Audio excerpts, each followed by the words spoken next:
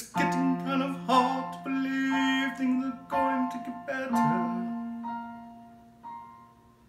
I've been drowning too long to believe that the tide's going to turn. And I've been living too hard to believe things are going to get easier now.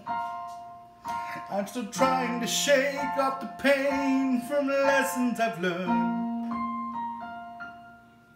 But if I see Van Helsing, I swear to the Lord I will slay him. Ah, ha, ha, ha! He take it from me, and I swear I will not let it be so. Ha, ha, ha, ha! Blood will run on his face when he is decapitated.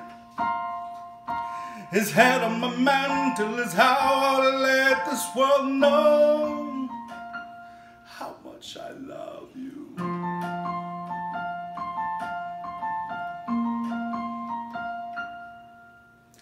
die, die, die. I can't.